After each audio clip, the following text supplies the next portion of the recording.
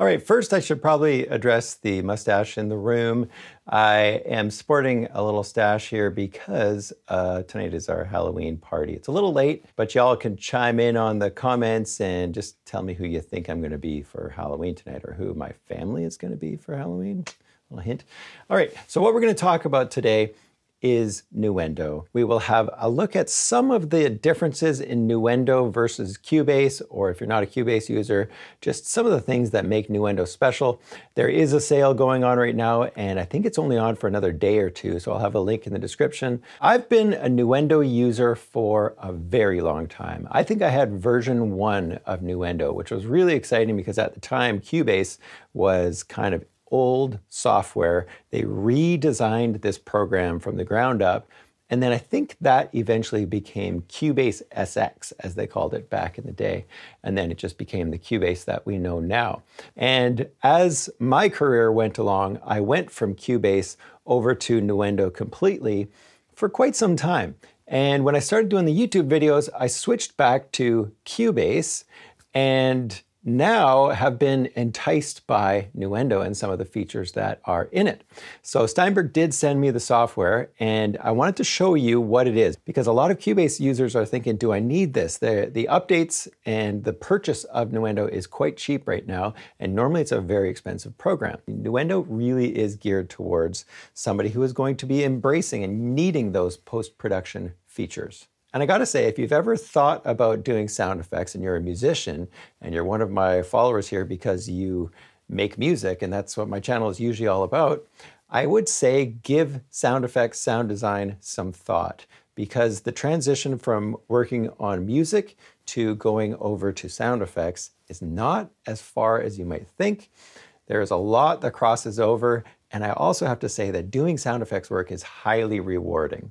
Right now I'm doing music and sound effects for a video game. And being able to go back and forth is just so much fun. It really is. So keep in mind that you can do a ton of sound design in Cubase, but let's look at those special features that might save you some time. And if it's worth it, then you pick up Nuendo. So what I've got here is just a video I hacked together just of some shots of me walking around one of my favorite record stores, antique stores in Bellingham. Maybe in the future I'll actually edit this whole thing together, make a little video, and then talk about how I would do sound design for a video like this, and then maybe even do some music for it, because that is what a lot of you are here for. And the first one I would show you here is something that is actually built into Logic, and we don't have it in Cubase, and I really wish they'd add it to Cubase, because if we had this feature years ago, this would have saved me so much time when I was working on videos and working on movie soundtracks.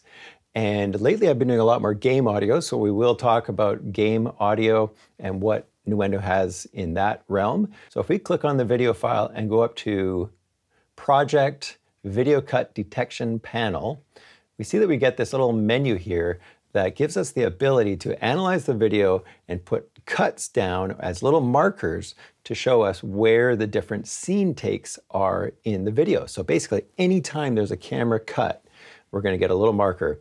And as a sound designer, this is just awesome because you can have ambience or background sound effects and you can just lock it to the marker or snap it to the marker.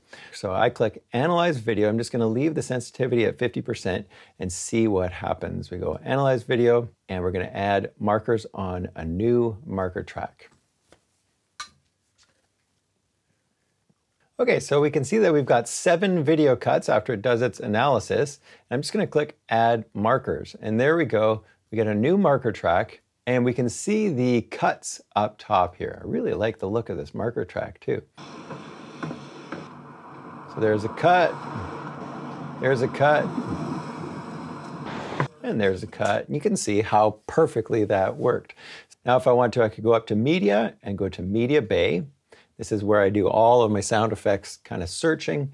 So I'm just going to type in city here, and we're going to look for a city ambience. So if I go city amb, and we click on city light, and this is the exact same way this works in Cubase, by the way.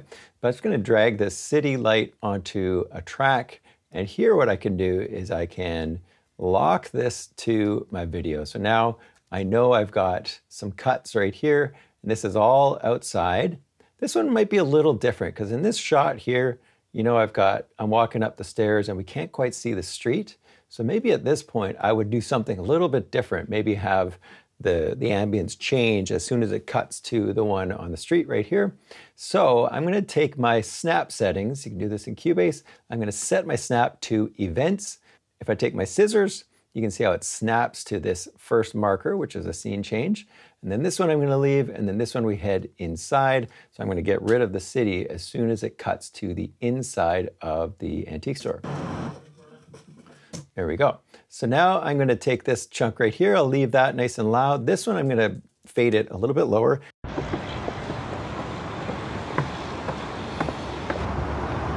You can hear how nice that ambience changes as we jump over to that one cut. So very, very powerful stuff. I wish this was in Cubase. So I feel like this could be useful for Cubase users as well in terms of music production because sometimes you have music that you want to cut and have start exactly on a marker. All right, another incredible feature is that they give you the ability to add another video track.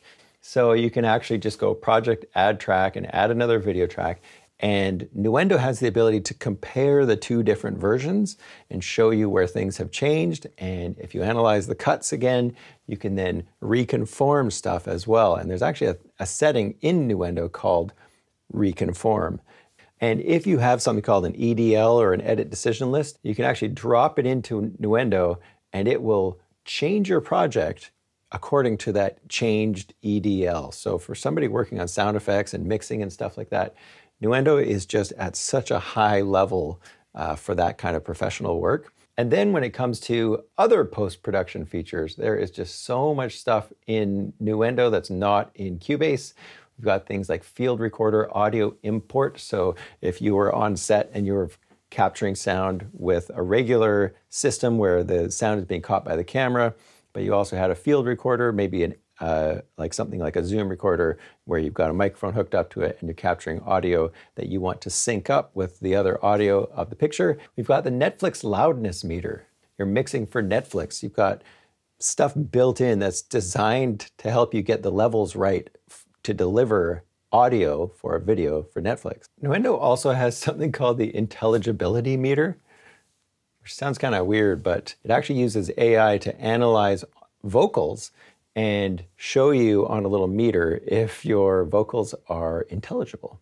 So the next thing I'm going to show you is a really cool feature that's Nuendo specific and a little bit more obvious than a lot of the high-end metering and analyzing stuff that comes with Nuendo. But this one is just a little thing that's called clip packages.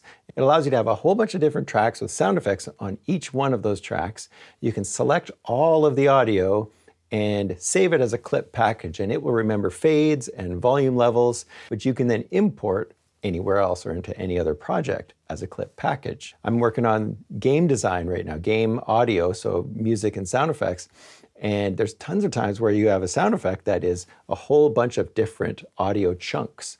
And to be able to save those as a version, you know, this is version one of the explosion, you work on it and then you listen to it and you realize it's not working. So you drop that clip package in, maybe make it a different version of it, different levels, save that as a clip package. And now you have that as an accessible chunk of information as opposed to some project where it could be buried in your sound design sort of setup. So very, very cool feature. So many different ways I could use this feature. So I've got three sound effects right here, some footsteps and keys, fade in right here, We'll adjust the level of this one, you know, and that's probably good enough for now.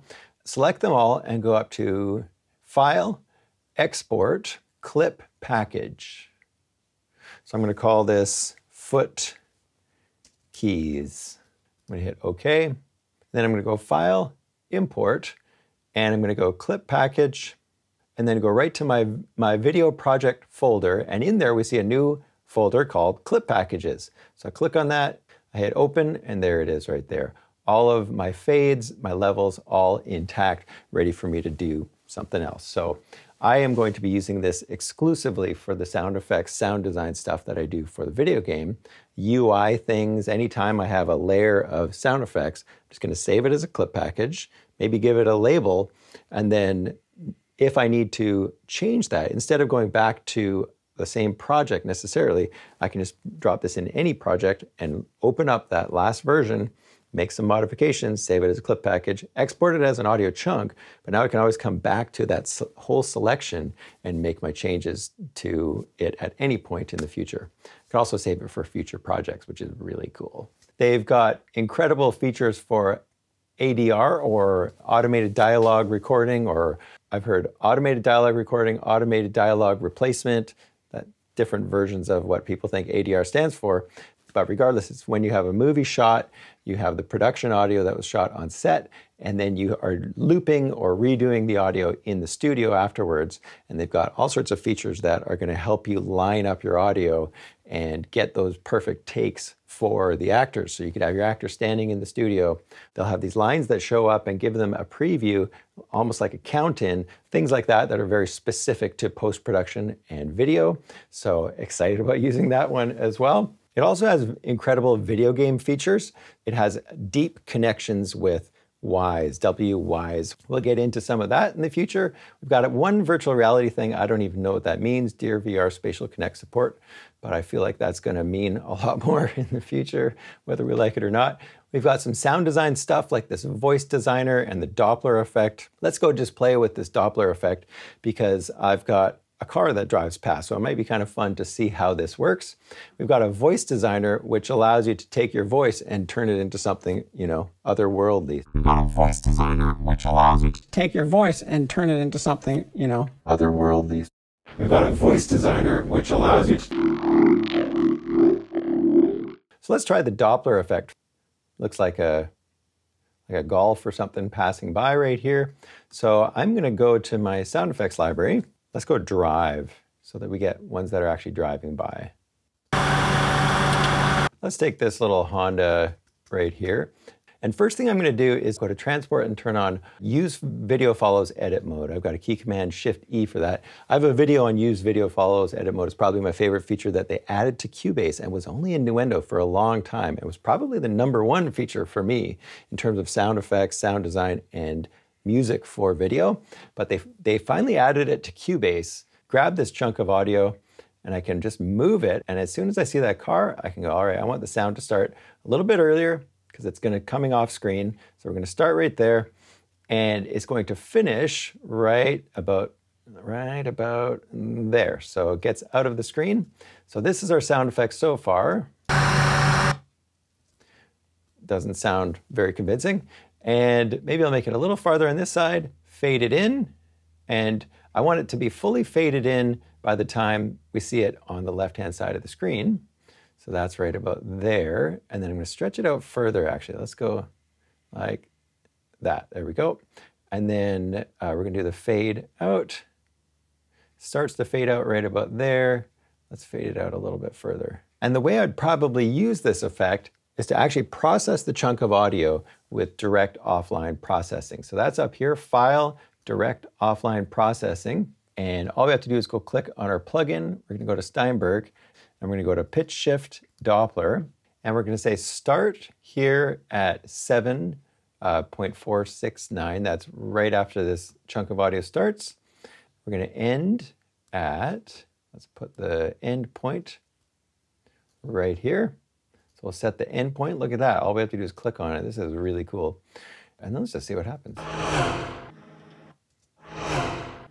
So that's pretty cool. You could see how that would be useful. Going to take some playing with it to figure out the pitch levels, but you get the idea of how this kind of plugin will work. You get to choose your sound and have it pitch shift automatically for you. Very cool. We've got help for Foley recording, help for dialogue, editing. We've got crazy amounts of surround sound. We've got up to 5.1 in Cubase and then up to 22.2. So you want 22 speakers around you and two subwoofers? You can do it with Nuendo. And last thing here, I just want to show you this randomizer thing. This is an incredible little feature. Let's find a wood sound effect here for this dude as he's walking up the stairs. We're gonna pretend that all we have is one sound effect. And I'm going to drop this in everywhere I think this guy's stepping. So there's a, a footstep right about there. We'll drag this forward, option drag. There's another footstep right about there. And another one right about, let's put another one right there. Okay, let's have a listen to this. Sounds horrible, right? So this is a very common thing in sound design. How do we add some variation? And of course, normally you just make sure you have multiple recordings of the same footstep, and we can use it to process this audio directly. So I'm gonna select all the audio. I'm gonna go up to Audio, Direct Offline Processing. We go to Steinberg, we go to Other, and there is the randomizer. So here you can see we can randomize pitch. So that'll be, you know, just obvious things with the pitch changes. Color probably has something to do with timbre or harmonic content impact, maybe something to do with the transient at the beginning of sounds, and then timing, just shuffling the timing around a little bit. Maybe I don't want to mess with the timing too much on this one, but let's do everything else. And I'm just going to hit apply, and we'll see these sound effects change in the background. So they all kind of changed, and let's have a listen to this now.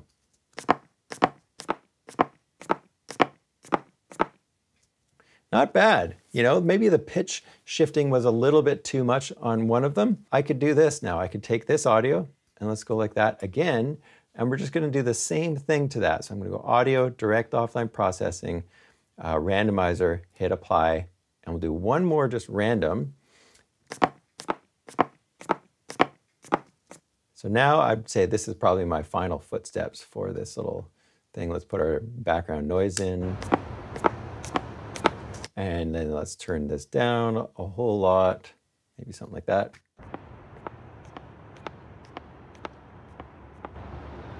And there we go. We've got some random footsteps. I'd probably need to do a little more work on that, but you get the idea. So I hope this video was helpful for you, show you some of the things in Nuendo that are just super powerful. I am really impressed with some of these new features in here, things that are gonna make my life a whole lot easier as a sound designer.